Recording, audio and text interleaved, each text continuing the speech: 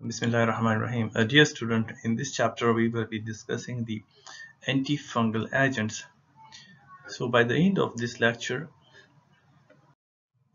you will be able to define the types of fungal infection, describe the classification and mechanism of action of each antifungal agent, describe the spectrum of activity of each fungal agent, its pharmacokinetics, adverse drug events, its fungal uh, antifung of these antifungal agents, and the therapeutic and clinical uses for these antifungal agents.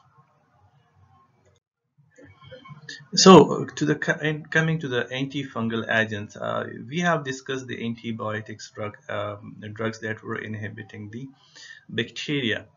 Uh, fungi are different from bacteria. That's why it's very difficult to treat as compared to a bacterial infection, and that's why antibacterial drugs are not effective against uh, fungal infection because of the difference in their uh, cell wall and cell membrane uh, the, the, the cell wall of fungi is more complex and more uh, rigid as compared to bacteria. Peptide, bacteria has peptidoglycan layer uh, in their in their bacterial cell wall, while these fungi contain um, composed largely of chitin. The cell wall of these uh, fungi is composed of chitin, right, which is a very thick and rigid structure as compared to the peptidoglycan.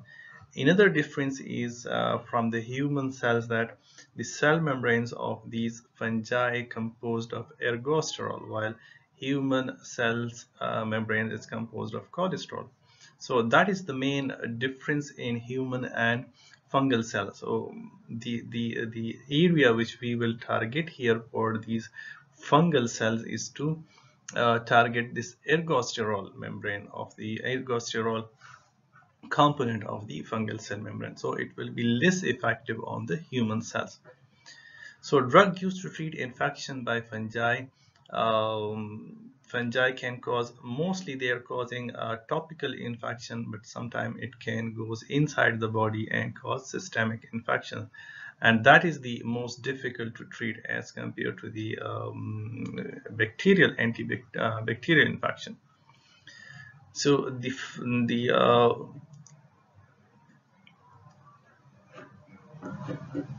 the infection that is caused by the fungi is known as mycosis uh, fungi is a large and diverse group of microorganisms broken down into yeast and molds, molds and they have these different types of um, fungi. So we don't have to go into the details of this. But you will have to know here that uh, the infection caused by fungi is called mycosis. Uh, it can cause topical or systemic infections. Topical infection are easy to to uh, to treat, but systemic infections are very difficult to treat. Uh, they're they contain they're complex organisms as compared to bacteria. That's why antibacterial drug might not be effective against these fungi.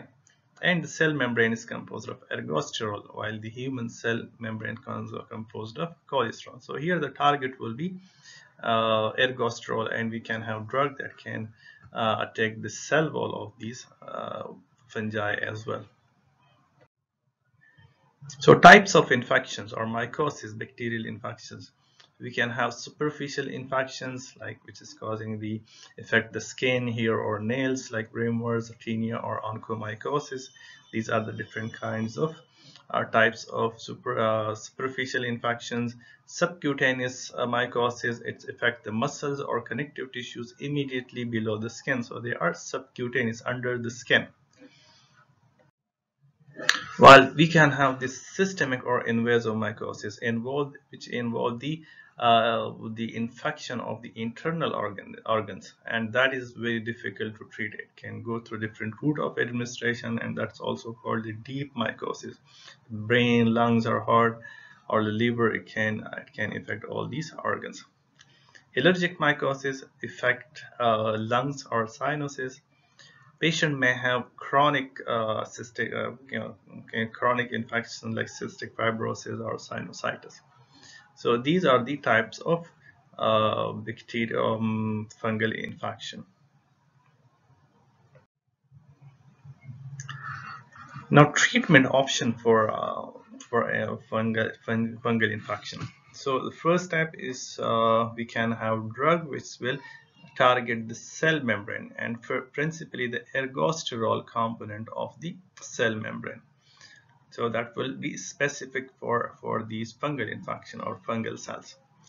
We can have drug that causes the inhibit the synthesis of DNA we will discuss this one by one. Cell wall inhibitors or drug that is inhibiting the uh, cell the, the mitosis fungal mitosis that is inhibiting their reproduction or uh, multiplication so based on this we can classify the drugs uh, based on the site of actions and based on their chemical composition. So drug that disrupt cell fungal cell membranes they are they are like polyenes azoles or allylamines chemically they are different from each other and they have different um, effects like uh, side effects or their potency and efficacy are different. So in polyenes we have amphotericin B nystatina uh, these are the most commonly used drug uh, most effective against these fungal infections but this also have more side effects as well uh, then we have azoles, imidazoles, triazoles, allylamine. We will discuss this one by one. Then we will discuss the drug that disrupts cell wall, like uh, caspofungin is one of them. Uh, drug that inhibit the DNA synthesis inhibitor like flucytosines and drug that inhibit the mitosis, of the fungal cell and that contains griseofulvin.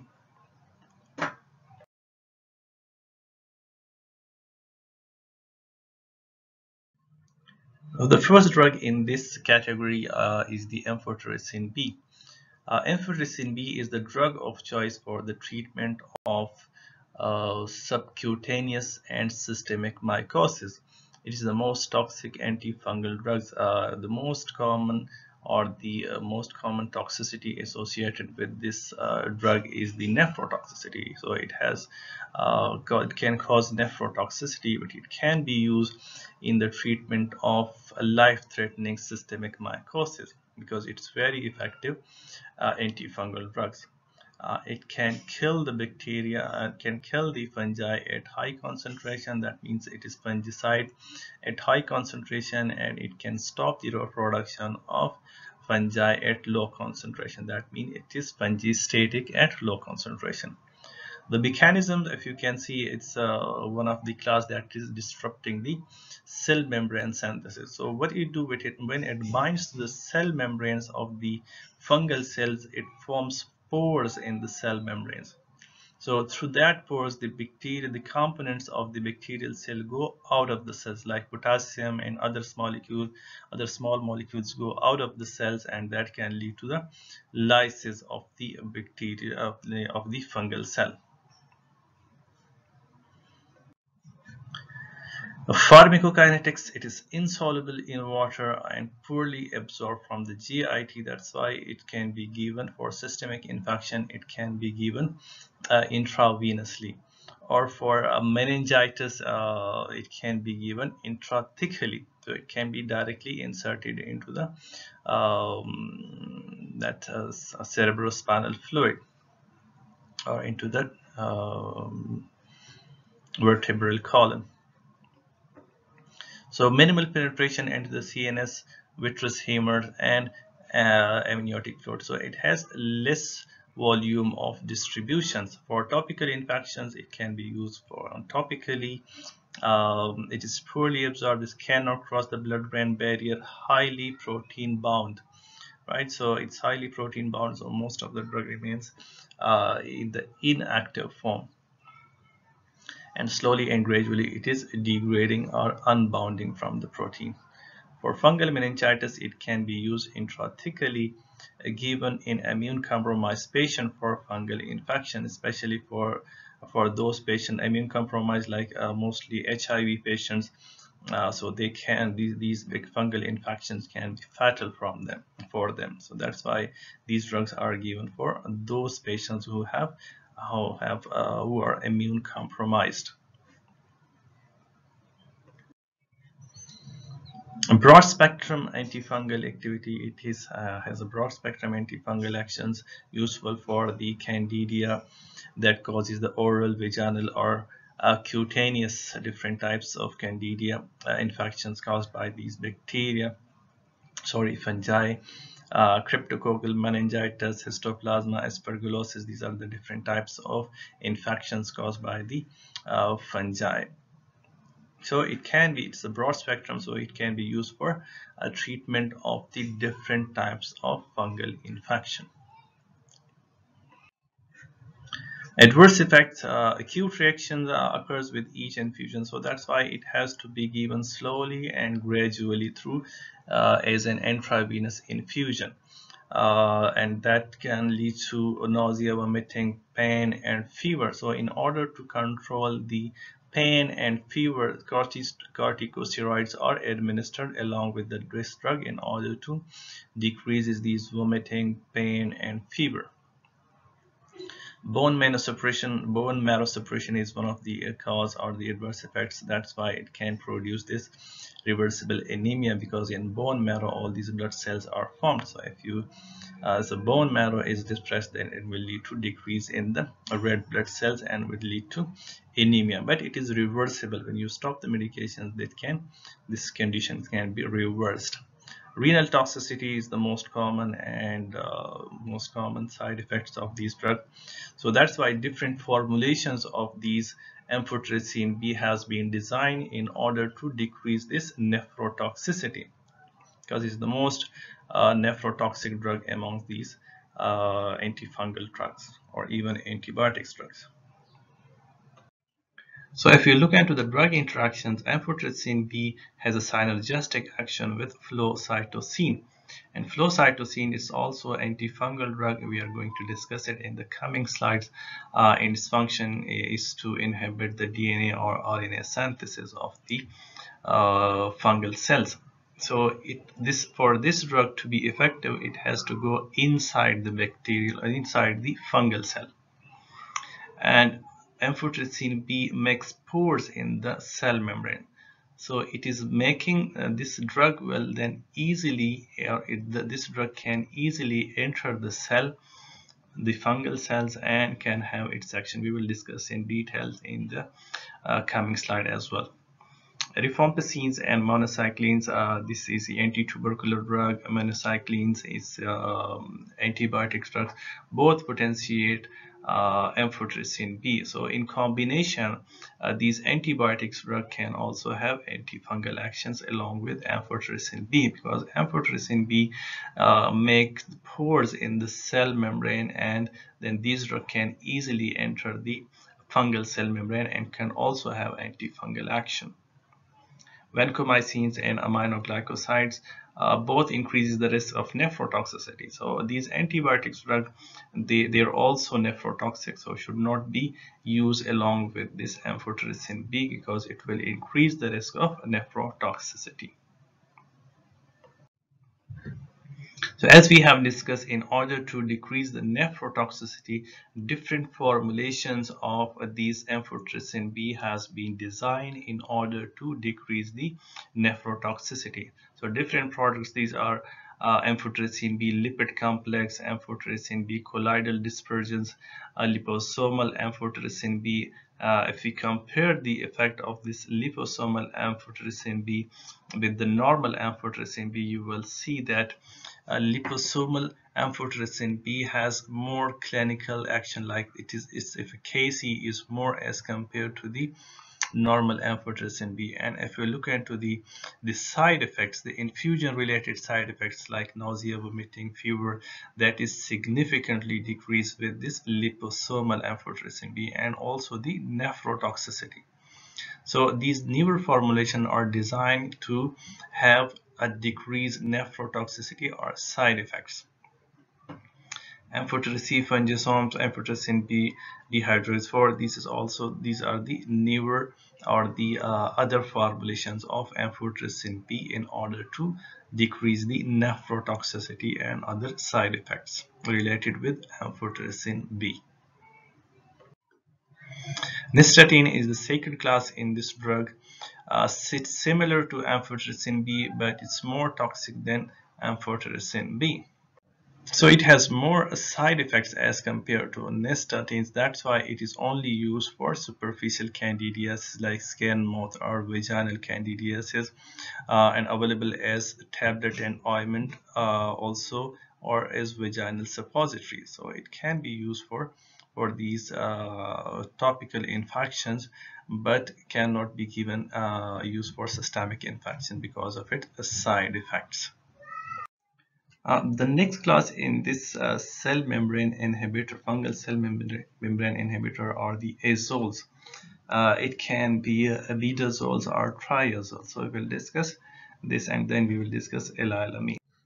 So azole derivatives, these are the synthetic fungistatic agent with broad spectrum of activity. So they are uh, synthetic fungistatic and they are composed of two groups, imidazoles and triazoles.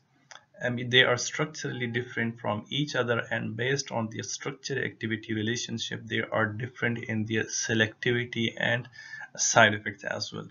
So they lack, lack selectivity towards the uh, fungal cells. They can also affect the uh, membrane synthesis or metabolic disturbances in the human cells or the humans as well. That's why it lacks selectivity towards the fungal cells and that leading to uh, endocrine disturbances in the humans as well. While uh, these triazoles they are more selective towards the fungal cells and that's why it leads to less side effects or less endocrine disturbances in the humans. Uh, they can alter the RNA or DNA metabolisms uh, the example is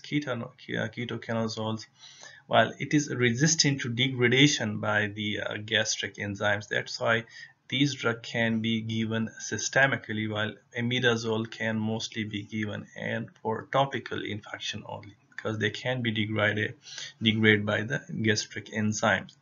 The first generation is the fluconazole, the second generation the voriconazoles. These are the examples of these first generation and second generations triazole group. So imidazole and triazoles. Imidazoles mostly they are used topically because they are degraded by the gastric enzyme. The only imidazoles that can, that can be used for systemic administration is ketoconazoles. All others are used for topical uh, infection. Clotrimazole, econazoles, miconazoles, all these are uh, used for topical infections.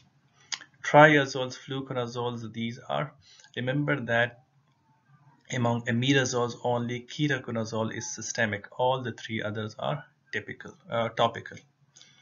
While triazoles are used systemically, so they are resistant to degradations. That's why they can be used systemically and largely replacing the ketoconazole. So this ketoconazole is also uh, replaced by this triazole. Now coming to the mechanism of actions of uh, these azoles, like the carbon mechanism is the uh, is the inhibition of this ergosterol. So most of these drugs they are inhibiting certain step in the formation of their this ergosterol. This ergosterol is, is a long chain which needs which ultimately form this uh, ergosterols and different target and different drugs targeted different steps which we will discuss later on in the production of this ergosterol which is the main component of fungal cell membrane. So like for azoles we will discuss that azoles is inhibiting the conversion of lanosterol to to this ergosterol so this is the step which is uh, inhibited by the azole group. And for this step the for lanosterol to convert to this phyresterol uh, this enzyme that is called 4-alpha demethylase is responsible. So if we stop this, uh, this enzyme, what will happen? We are breaking the chain here. And breaking this chain here means we are inhibiting the production of ergosterol, which is the main component of fungal cell membrane. So azoles bind to the lanosterol 14 alpha demethylase inhibiting the production of ergosterol. We will discuss the later uh, that uh, allyl amines that are inhibiting this step, conversion of squalene to lanosterol. or squalene epoxide. So here, here we have squalene epoxide enzymes and that that is inhibited by this allyl amines. So if you look into the cross-reactivity of these azole group, uh, some cross-reactivity is seen with the human or mammalian cytochrome P450 enzymes. So what will happen here? Remember the cytochrome P450, uh, it's an enzyme group that is involved in the metabolism of different drugs within the liver. So if we inhibit these enzymes, it can lead to decrease in the metabolism of certain drugs and that can causes the increased bioavailability of certain drugs because it will decrease the metabolisms and that will lead to decrease increase in the bioavailability. In addition, uh, some of the enzyme of this cytochrome P450 family are also uh, help in the formation of steroids within the body. So it leads to the impairment of the normal steroid formation, glucocorticoids or mineralocorticoids within the within the body, the natural.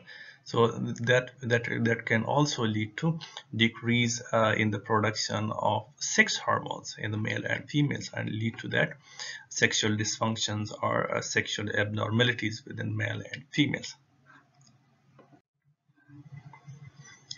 So uh, spectrum yeast and mold it can be used for yeast and mold's poor absorption limits its role for the severe infections generally used in mucosal infection only. So this is one of the drugs that can be used for mucosal infection only.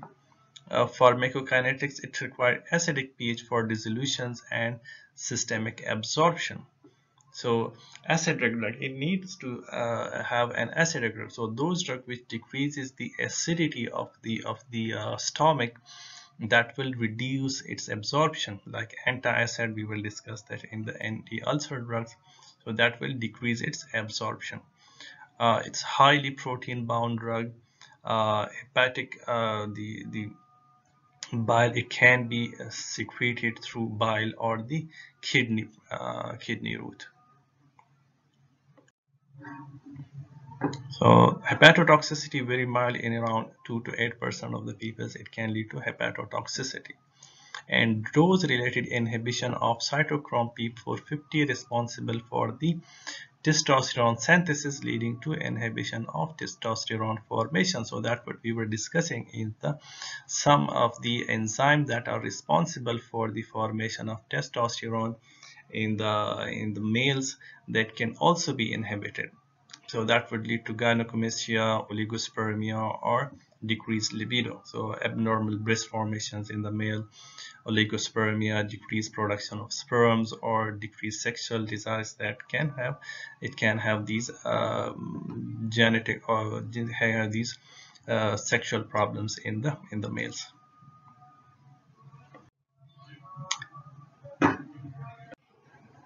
So if you look into the drug interactions, uh, uh, amphotericin, a potent inhibitors of cytochrome P4, rifampicin uh, is a potent inhibitor of cytochrome P453 which is responsible for the metabolism of uh, right? So if we are taking rifampicin rifampicins will increase the metabolism of ketoconazoles and will decrease its bioavailability while this ketoconazoles can increases the uh, metabolism of warfarin, corticosteroids, and theophylline level. So although phenytoin can also come in this, it can be by mistakes that phenytoin is uh, also the concentration of phenytoin is also increased by the ketoconazoles. So ketoconazoles inhibit the metabolism of warfarins, phenytoin, corti, uh, corticosteroids and theophylline. And that will lead to decrease uh, that will lead to increased level or bioavailability of these drugs and that could lead to toxicity because these phenytoins, warfarins, uh, these and theophylline these are uh, drugs with low therapeutic index. So if we increases their uh, bioavailability slight uh, and a slight increase in the bioavailability of these drugs can lead to uh, toxicities Drugs that increases gastric pH will decrease the blood level of ketoconazoles. So as we have discussed, it needs acidic pH for absorption. So those drugs which decreases the acidity of the gastric pH that will be uh, that will decrease the absorption of ketoconazole. Fluconazole it's a water soluble having a wider range of activity than uh, ketoconazole. It has good activity against Candida albicans and Cryptococcus neoformans, uh, different types of fungal infections. And the good thing about this, it is available both as intravenous and oral drug. And it is very highly bioavailable. Its bioavailability is more than 90 percent uh, its protein binding is also binding is also less than 12% and more than 90% is excreted unchanged uh, through the kidney because it's also water soluble so it doesn't need more metabolism. So mostly we need metabolism for lipid soluble drugs in order to to decrease its uh, reabsorption by the kidney Allylamines uh, is the next class in this uh, this category of which are inhibiting the uh, which are inhibiting the cell membrane. So their mechanisms that we have discussed, allylamines here inhibit the conversion of squalene to lanosterol. So there we have enzymes that is called squalene monooxidase enzyme which convert the squalene to lanosterol.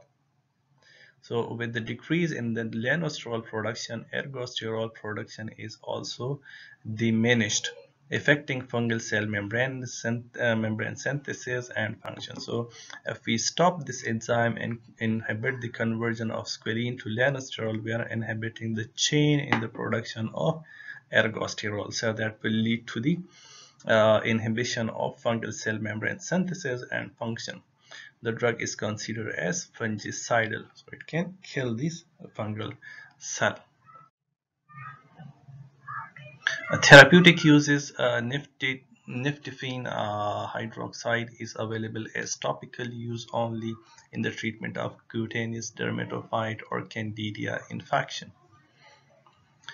Terbinafine hydrochloride or Lamisil this is, is available for topical and systemic use. So this Lamisil this uh, terbinafine it is available both as topical and systemic uh, for systemic use in the treatment of dermatophytes of skin and nail infection. It is most commonly used in the treatment of onychomycosis in the oral form of this terbinafine is generally well tolerated but occasionally cause gastric distress or liver enzyme elevation. So if it enhances or increases the elevation of the liver enzymes, it will lead to increase the metabolism of other drugs. Now the other drugs we will discuss these all these uh, three or four types belong to the uh, cell membrane synthesis inhibitor. Now we will discuss this uh, DNA synthesis inhibitor, cell wall synthesis inhibitor and mitosis inhibitor. Now the other drug is the flucytosines. Uh, this is a narrow spectrum uh, and it can be used for streptococcal meningitis with combination of amphotericin B. If you recall from amphotericin B, we have discussed that amphotericin B has a synergistic action with flucytosine. So when uh, what basically amphotericin B, it opens the cell membrane for this drug and this drug has to get enter the cells to inhibit the production of DNA. So this drug needs to go inside the cell in order to inhibit the DNA synthesis. Now amphotericin B is making it easy for this drug to make inside because amphotericin B will make pores in the cell membrane of the, of the uh, fungal cell.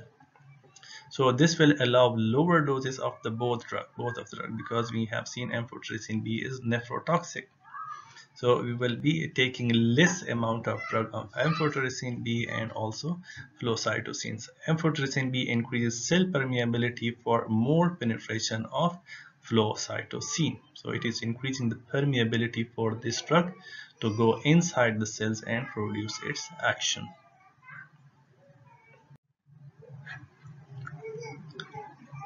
Mechanism of flucytosine is converted to anti-metabolites 5 uracils, fluorouracils, and 5 fluorouracils interfere with the fungal DNA synthesis by inhibiting thymidylate synthase. So no synthesis of thymidylic acids which is an an essential component of DNA. So basically we are inhibiting the formation of DNAs uh, in the in the bacterial in the fungal cell. Sorry.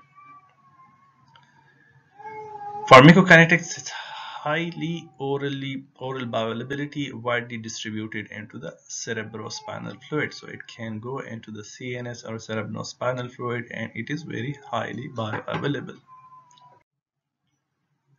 Adverse effects are skin rashes, epigastric distress, uh, diarrhea, and reversible liver enzyme elevation can occur. Bone marrow, uh, bone marrow toxicity can lead to leukopenia and thrombocytopenia. That is common because these these cells are normally formed within the bone marrow. Uh, uh, this is the drug that inhibiting the uh, mitosis within the within the fungal cells. So they are effective against most superficial dermatophytes but not against candida causing deep mycosis. Normally they are used for these superficial dermatophytes.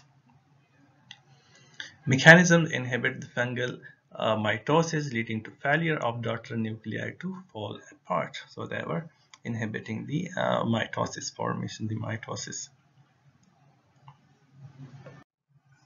Griseofulvin uh, Pharmacokinetics given orally and fat improved its absorption.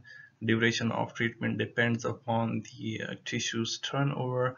It can lead. Uh, it can be from three to six weeks for skin and hair infection, and for three to six months for nail infections. Treatment should continue until the whole infected tissues is shed off. The side effects include mostly GIT related like GIT upset, hepatotoxicity. It can also lead to photosensitivity and allergy.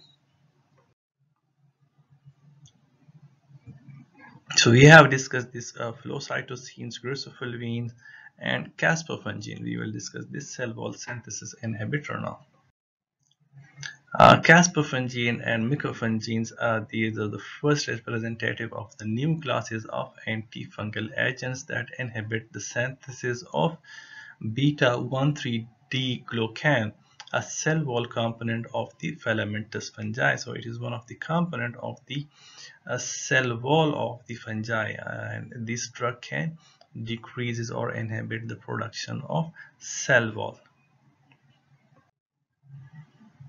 Therapeutic uses they are approved for the treatment of invasive uh, aspergillosis and candida in patients not responding to other antifungal drugs. They are the second line therapy for patients who are who cannot tolerate to amphotericin B or azoles. Both of them are not active orally. So they both of these caspofungin and micafungins they are not active already and they are the second class of drugs.